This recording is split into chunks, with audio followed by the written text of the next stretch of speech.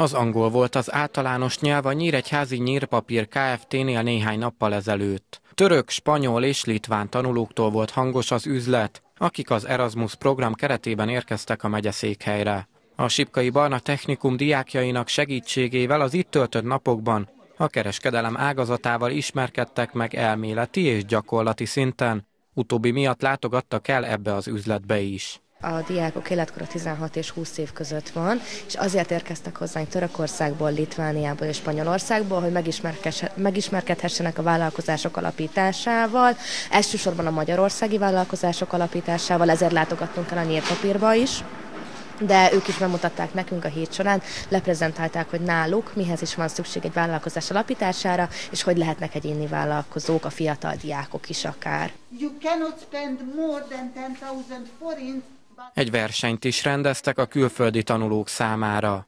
Az egyes nemzetekbe szerveződő csapatoknak az volt a feladatuk, hogy egy 10 forintos vásárlási utalványt minél gyorsabban és hatékonyabban el tudjanak költeni.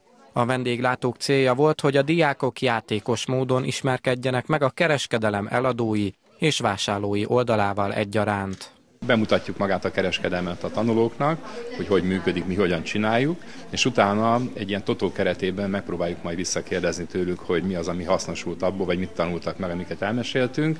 Ez egy versenyformában történik, tehát lesznek díjazások, értékeljük a csapatmunkát, és így tovább.